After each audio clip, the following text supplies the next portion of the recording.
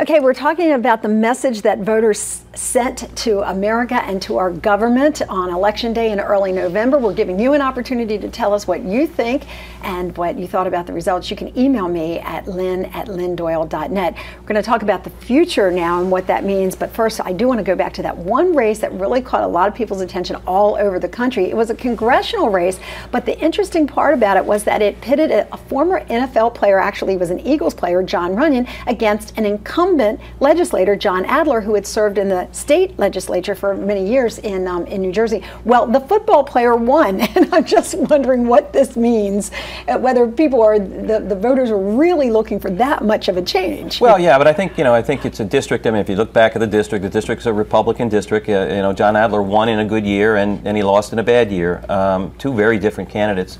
Uh, I'm not sure it says a lot more than that, but uh, you know, Jon Runyan is a very credible and he's going to be an interesting uh, player uh, in Congress. Mr. Runyan goes to D.C. Everybody's going to be watching that playbook very, very, very closely. America loves football. they should. hey, listen, we love our football. If an actor can become president, maybe the football player is you know on his way now. We'll see. But speaking about being on our way, wh where do we go from here? I mean, the the voters have spoken now, but let's let's put aside party politics and, and see if from a bipartisan perspective, we can say, what do we need to do to get this country back in the right direction, get rid of some of that anger and that, you know, that, that disillusionment that Americans seem to be feeling? We're in we're in election cycle right now. To, to, to you know 2012. 2012. That's where we're at right now. Well, aren't we always going to be in an election no, cycle? I not, mean, no, not me, more yes. important than this for for either party. If you're a congressional or a Senate watcher, those are important to you. If you are both parties, the prize is the White House. And as you move forward to 2012, uh, it's interesting to see the tactics. Does the president fight with the Republicans? so the Republicans fight with him? That is not what the country wants. Are you they telling want them me to work together. that the political stuff is going to continue? Because everybody was just really I'm getting af- excited I'm about having a afraid so. break. I'm sorry, Lynn. Ah, yeah. I'm sorry. How do you guys We're feel about that? flow. We're going with the flow. No, this is going to continue now. Of more of this rhetoric and this aggression. Well, well, I, look, I, I, I think I think we've seen it. We've seen it in, in part. We've seen this. We saw this in 1994 um, we, we, with the Contract America. Republican uh, then won uh, 34 seats, 61 seats this time, by the way. Um, so it's historic. Uh, but we saw that uh, Bill Clinton moved, uh, that his famous word, triangulation, to try to, to, to move and adopt and move to the center. I think it's going to be more difficult for Obama to do that. He's certainly set parameters further out to the extreme, in my opinion, than, than what, what Clinton did. So it's going to be difficult. And it certainly does, as you play t- going toward 2012, it, it, um, it's going to be difficult for them to come together on some major issues, even though they all see that that's really where uh, the, the center wants to, uh, to travel. Well, that's what I was going to say there, Tara. I mean, aren't both parties risking, um, like, kind of alienating their bases if, if they don't find a way to the middle and find a way to be bipartisan?